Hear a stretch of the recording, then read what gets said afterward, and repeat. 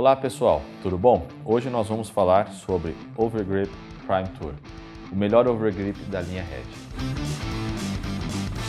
Ele possui as mesmas dimensões dos overgrips do mercado.